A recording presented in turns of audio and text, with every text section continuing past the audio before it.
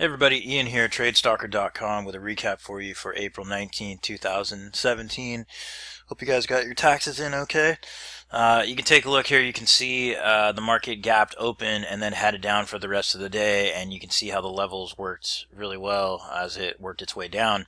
Um, to start off, you know, we had an open um, up around 45 and it held this 45 area which initially was resistance excuse me and then finally broke through um, and headed up towards the uh, 49 half to 50 half area.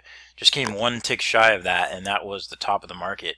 Um, it did attempt to uh, stabilize down at the 46 to 45 half area again, but it got a little bit choppy.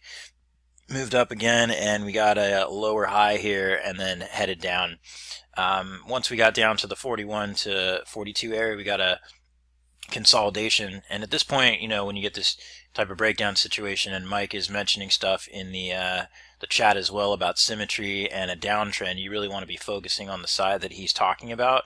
But you can see how these levels work here. Just being above this level here, even though it's a resistance level, it acts as support. You get a bounce here a slight bounce and at least a consolidation. Um, you know, and, and you're, if you're in this thing for, you know, these are five minute bars. So we're talking about 5, 10, 15, 20, 25, like, you know, almost 40 minutes here. You may not want to sit in that. Um, and it may give you a clue that you should probably get out of this thing. At any rate, um, you know, being on the right side of this, um, you uh, you get a move that eventually works its way below this level, comes back up and tests it, and that's an excellent place to get short here.